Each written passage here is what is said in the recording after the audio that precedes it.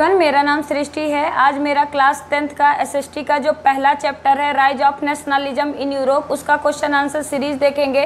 तो यहाँ पर देखिए क्वेश्चन आंसर सीरीज़ में पहला क्या है? टिक द करेक्ट ऑप्शन तो यहाँ देखिए, पहला क्वेश्चन क्या है? A political system in which a monarchial government has total power at all times is refer to as मतलब ऐसा पॉलिटिकल सिस्टम जिस मोनार्कियल गवर्नमेंट में काफ़ी ज़्यादा पावर मिलती है, और इसमें क्या होता है? देखिए, उसके लिए कौन सा वर्ड यूज़ होता है तो उसके लिए वर्ड यूज़ होता है अब्सोल्यूटिज्म अब्सोल्यूटिज्म का यही मतलब होता है ऐसा मोनार्कियल गवर्नमेंट जिसमें पावर काफ़ी ज़्यादा आप यूज़ कर सकते हैं विदाउट एनी रिस्ट्रक्शन उसके बाद देखिए डेमोक्रेसी का मतलब क्या होता है? Democracy a government for the people of the people by the people this word is given by 16 president of USA Abraham Lincoln अब देखिए यूएसए के जो सोलहवें नंबर के प्रेसिडेंट थे अब्राहम लिंकन जी, उनके द्वारा ये वर्ड दिया गया डेमोक्रेसी दैट मीन्स लोकतंत्र। अब भारत सबसे बड़ा लोकतंत्र देश है। उसके बाद यहाँ पर देखिए ऑटोक्रेसी का क्या मतलब होता है? A country ruled by one person a country ruled by one person ruled by one person one person ऐसी कंट्री जो एक पर्सन के द्वारा रूल की जाती है who has a who has a complete power जिसके पास काफ़ी ज़्यादा पावर होती है। उसका क्या मतलब होता है? ऑटोक्रेसी उसके बाद क्वेश्चन नंबर सेकंड देखेंगे। In 1789 France was full fledged territorial state under the rule of मतलब 1789 में फ्रांस में फुल फ्लैज का मतलब समाप्त होना। क्या मतलब होता है? समाप्त होना दैट मीन्स इंड होना। क्या ख़त्म हुआ था फ्रांस से? An absolute monarch monarchy system वहाँ से 1789 में फ्रांस से ख़त्म हो चुका था। तो मोनार्क का मतलब क्या होता है? Ruled by ruled by king king और क्वीन और क्वीन इसका मतलब होता है राजा के द्वारा या रानी के द्वारा जो वहाँ पे सरकार होती है, उसको क्या बोलते हैं? मोनार्क बोलते हैं, जो 1789 में फ्रांस से ख़त्म हो गया था। उसके बाद देखिए क्वेश्चन नंबर थर्ड क्या है? Which of the following is not European country European country नहीं है।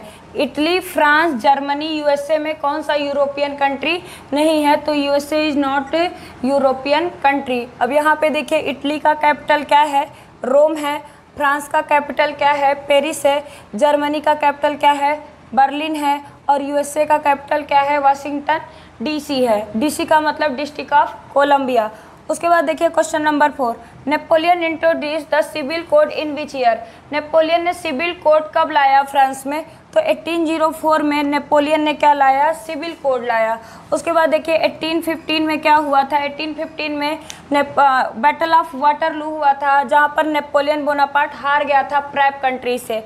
उसके बाद 1799 में देखिए क्या हुआ था seizing the political power by Napoleon Bonaparte इसका मतलब 1799 में नेपोलियन बोनापार्ट ने फ्रांस के जितने भी पॉलिटिकल पावर थे, वो अपने अंदर सीज कर लिया था, यानी अधिकार जमा लिया था। 1789 में क्या हुआ था फ्रेंच रिवॉल्यूशन हुआ था। क्या हुआ था? फ्रेंच रिवॉल्यूशन हुआ था। उसके बाद देखिए, यहाँ पे क्वेश्चन नंबर फाइव है।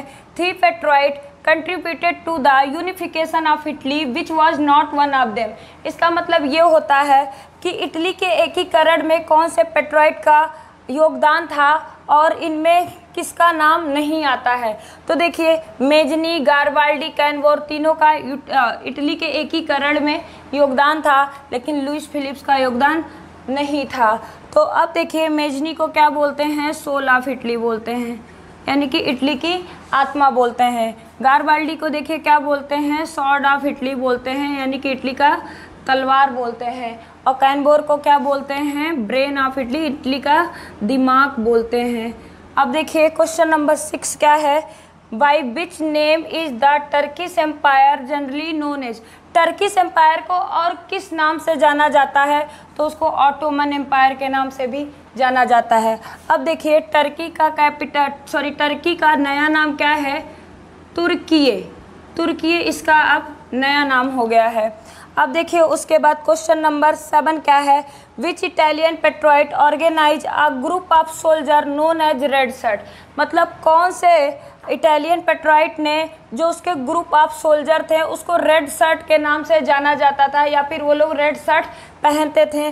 तो उनका नाम था गारबाल्डी गारबाल्डी जिनको हम लोग क्या बोलते थे? सॉर्ड ऑफ़ इटली भी बोलते हैं। ऐसे ही क्वेश्चन आंसर सीरीज़ के लिए आप हमारा नेक्स्ट वीडियो देखिएगा। अभी के लिए थैंक यू सो मच